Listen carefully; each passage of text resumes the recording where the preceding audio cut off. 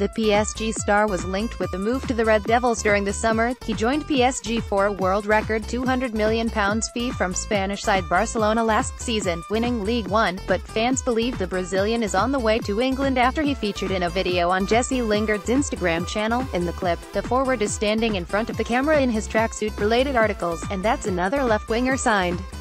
Man UTD fan and he rolls his sleeves up. He puts his hands together to have a go at the challenge. This involves moving his hands up and his fingers to his nose before making the United Man's famous horns, reposting the video on his Instagram story. Lingard writes, Neymar, he knows, and the Brazilian is at it again as he attempts another of the 25-year-old's celebrations, moving his hand to his eye. Getty, Jesse Lingard Man United fans were very excited when Neymar attempted Jesse Lingard's challenge. The United winger reposts this too, saying, Yo Nate, sunny in it. This refers to Lingard's reaction when he heard what teammate Marcus Rashford said to Neymar during a friendly, and the Old Trafford faithful could not contain themselves at the contact Neymar head with one of their players, sparking transfer talk. Neymar to United in January, one supporter said.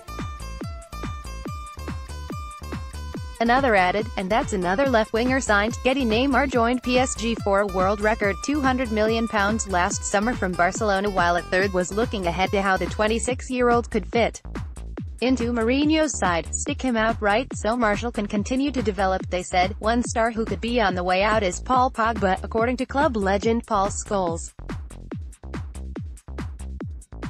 While another former player Wes Brown has revealed why Jose Mourinho did not sign another defender, related articles.